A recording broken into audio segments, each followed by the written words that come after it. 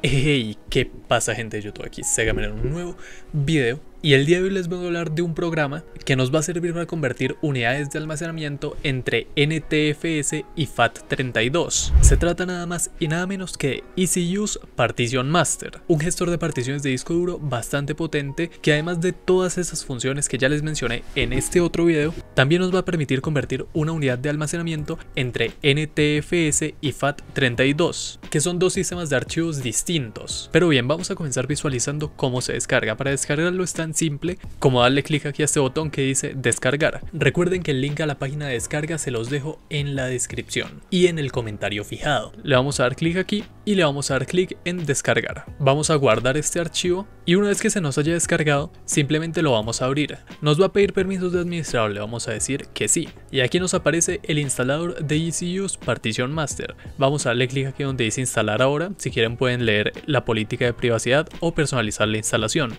Esto nos sirve para personalizar la ruta en la que se va a instalar el programa. En este caso lo voy a dejar tal cual está y le voy a dar clic en instalar ahora. Y ahora lo único que voy a hacer es esperar a que instale. Y una vez instalado se nos va a abrir esta página. Aquí esto simplemente lo voy a cerrar y voy a pasar directamente al programa. Nos dice aquí felicitaciones, has completado la instalación. Le voy a dar clic a este botón y ya se nos abrió el programa. En este caso yo tengo un código de activación, así que simplemente le voy a dar clic aquí donde dice activar y voy a pegar mi código de activación. Ahora simplemente le doy clic al botón que dice activar y listo, en este caso ya tendría la versión Pro. Voy a cerrar esto y bueno, aquí tenemos muchísimas funciones que tiene este programa. Podemos gestionar las particiones del disco duro, podemos migrar el sistema operativo, clonar el sistema operativo, clonar el disco, clonar particiones, recuperar particiones, crear medios de arranque para el sistema, eso en caso de que queramos crear una USB booteable para Windows y muchas más herramientas, escaneo de sectores defectuosos, reconstruir el MBR, pero aquí lo que nos interesa es la opción de convertidor de disco.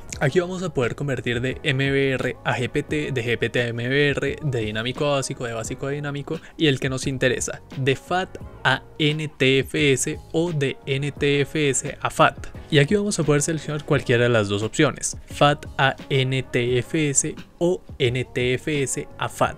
Yo en mi caso tengo conectada una unidad de almacenamiento que está en FAT32. Así que voy a ir al conversor de disco y voy a decirle aquí FAT a NTFS y le voy a dar clic en siguiente. Aquí me dice que seleccione la unidad que deseo convertir a NTFS. Yo voy a seleccionar esta 7 GB que está en FAT32. Aquí podemos ver todos los discos, todas las particiones y podemos ver el formato en el que está. Yo en este caso voy a seleccionar esta de aquí y le voy a dar clic en donde dice convertir. Y ahora simplemente me dice que la operación está en progreso, que por favor espere. Y aquí lo que voy a tener que hacer es simplemente esperar a que esta barrita llegue al 100%. Cuando esta barrita llegue al 100%, la unidad va a terminar de convertirse de FAT a NTFS. Y una vez que termine, podemos ver aquí que terminó en 33 segundos. Eso porque era una unidad bastante pequeña. Nos dice que la conversión fue exitosa y que la partición 1 del disco 2 se ha convertido con éxito a NTFS desde FAT. Le voy a dar aquí en hecho. Y si me voy a las propiedades, podemos ver que el sistema de archivos ya está en NTFS. Ahora bien, el proceso inverso es más de lo mismo. Voy a volverlo a poner como estaba, voy a volver a dejar la unidad en FAT32. Para esto simplemente le voy a dar clic aquí donde dice de NTFS a FAT y le voy a dar clic en siguiente. Y bueno, aquí para hacer el proceso inverso es lo mismo. Aquí nos dice que seleccionemos la partición que deseamos convertir a FAT32. Yo voy a seleccionar esta que está en NTFS, que es la que acabamos de convertir,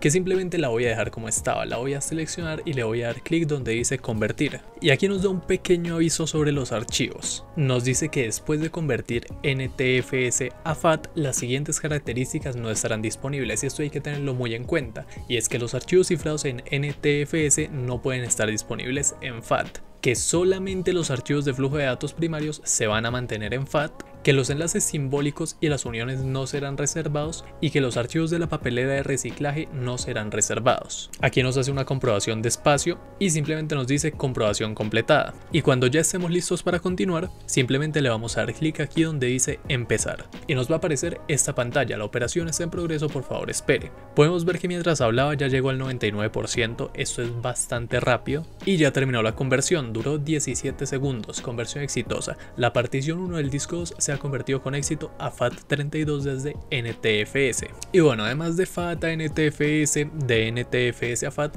tenemos todas estas otras opciones. Y bueno, por si alguno de ustedes está perdido o no sabe qué tipo de formato tiene que aplicarle a su almacenamiento, NTFS es una buena opción si trabajas principalmente en Windows y necesitas manejar archivos grandes o necesitas características avanzadas como permisos de seguridad y cifrado. Es por eso que nos decía antes que los archivos cifrados en NTFS no van a estar disponibles en FAT. Y usar FAT32 es adecuado si necesitas compatibilidad con una amplia variedad de dispositivos y sistemas operativos, o si estás utilizando un dispositivo de pequeño como una unidad USB. Y bueno, eso es todo lo que les quería mostrar de este programa. Recuerden que les dejo el link de descarga en la descripción y en el comentario fijado. Espero que este programa les sirva, que el video les haya gustado. Si les sirvió el programa no olviden dejarme su like y su suscripción. Y ahora sí, sin mucho más que decir, me despido y nos vemos en unos días con un video nuevo.